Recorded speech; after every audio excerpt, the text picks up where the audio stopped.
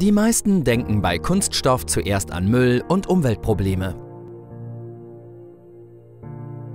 Was dabei nicht bedacht wird, Kunststoff ist ein sehr wertvolles Material und Grundlage vieler zukunftsweisender Technologien. Denn kein anderer Werkstoff ist so vielseitig. Kunststoff übernimmt sehr wichtige Aufgaben in unterschiedlichsten Branchen. Vom kommerziellen Gartenbau über den Maschinen- und Apparatebau, der Fahrzeug-, Elektro-, Solar- und Lebensmittelindustrie bis hin zur Chemie, Pharma-, Kosmetik- und Medizinindustrie. Kunststoff leistet viel und verbraucht wenig. Kunststoffprodukte sparen in der Regel deutlich mehr Ressourcen, als für die Herstellung notwendig waren.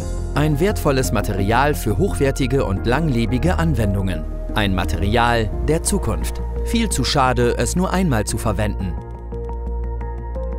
Deshalb sehen wir uns als kunststoffverarbeitendes Unternehmen in der Pflicht, unsere Produkte und Prozesse so umweltbewusst wie möglich zu gestalten. Dazu gehört für uns auch die Entwicklung neuer Konzepte, um Materialkreisläufe zu schließen und so viel recycelten Kunststoff wie möglich zu verwenden. Derzeit werden in Deutschland nur etwa die Hälfte der Kunststoffabfälle wiederverwertet. Diese Quote wollen wir erhöhen. Darum haben wir die Initiative Pöppelmann Blue ins Leben gerufen.